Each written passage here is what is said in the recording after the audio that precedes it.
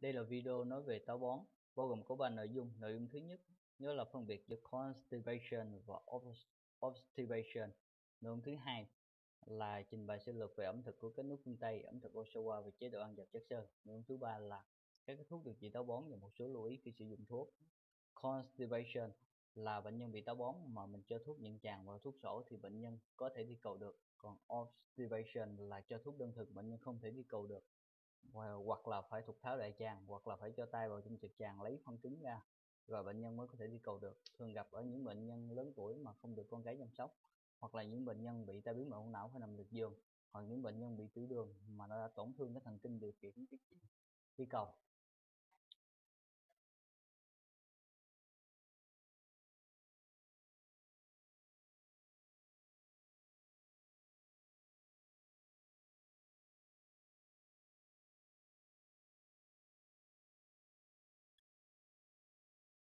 Thực đơn các nước phương Tây chủ yếu là có thịt đỏ, trứng và các cái thức ăn nhanh, cho nên rất là dễ bị táo bón.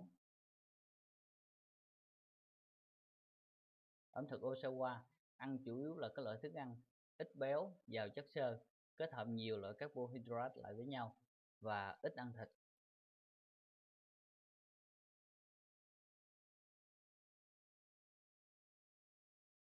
Chế độ ăn giàu chất xơ thì ăn chủ yếu là các loại trái cây, rau, các loại đậu và các loại hạt như là thóc, lúa mì. Thì có thể ngăn chặn được cái tình trạng táo bón hoặc là cải thiện được tình trạng táo bón.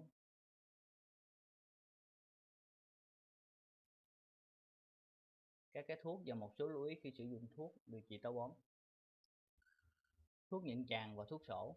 Loại thuốc nhận tràng mà làm mềm phân đó là các cái muối hữu cơ của natri của canxi hoặc là các cái dầu khoáng mà nó làm cho nước hoặc là chất béo đi vào trong phân, làm mềm phân. Được sử dụng ở những bệnh nhân tránh tăng áp lực ở bụng, tránh phải gặn khi đi cầu, ví dụ như là bị chỉ hay là đau bị nhồi máu cơ tim, hoặc là những bệnh nhân lớn tuổi mà cái thần kinh điều khiển chuyện đi cầu nó đã giảm sút rồi.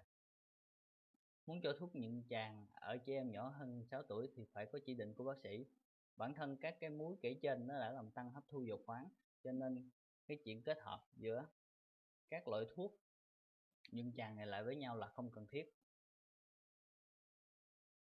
Thuốc sổ kích thích cơ chế của nó là tăng hoạt động của đám gói mesna để làm tăng tiết dịch, tăng hoạt động của đám gói Auvex để làm tăng cái nhu động ruột.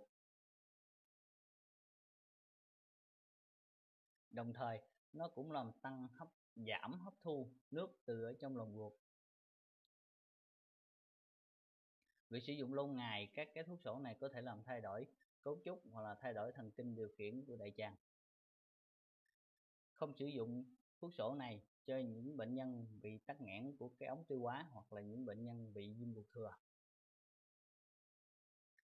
Thuốc sổ thẩm thấu, đó là các cái muối hoặc là các cái carbohydrate không bị hấp thu bởi ống tiêu hóa có áp suất thẩm thấu cao, nó kéo nước vào trong lòng của đại tràng cần chú ý đó là các cái muối của magie có thể làm rối loạn chuyển hóa cho nên cần tránh ở những bệnh nhân bị suy thận. Đường lactulose có thể gây cảm giác đầy bụng.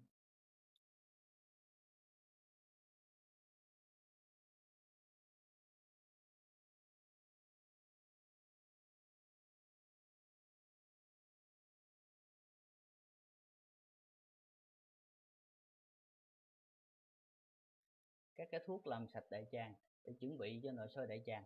Trên thị trường ừ, có hai loại, đó là flat soda hoặc là flat enema. Loại thứ hai đó là polyethylene glycol.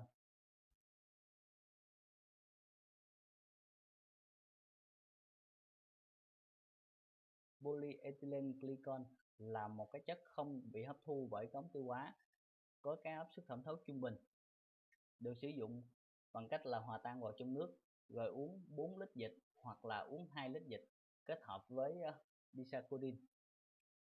do phải uống một cái lượng nước lớn và các nghiên cứu đã cho thấy tăng cái thể tích huyết tương sau khi sử dụng thuốc nên cần phải thận trọng khi sử dụng ở những bệnh nhân bị suy tim, suy thận.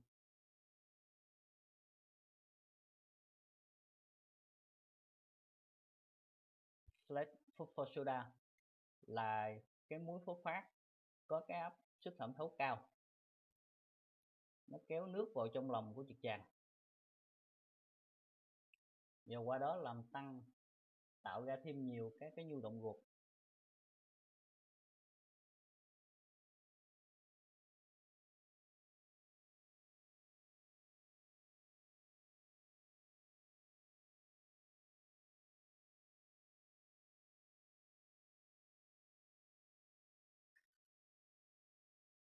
Các dụng phụ của nó có thể làm rối loạn nước, rối loạn điện giải như là mất nước nặng, làm tăng phốt phát máu, giảm canxi máu, giảm kali máu, tăng natri máu và đặc biệt là làm toan chuyển hóa.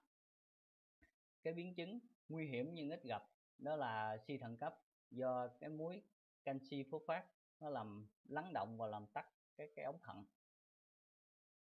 Cho nên phải thận trọng khi sử dụng ở những bệnh nhân có suy thận.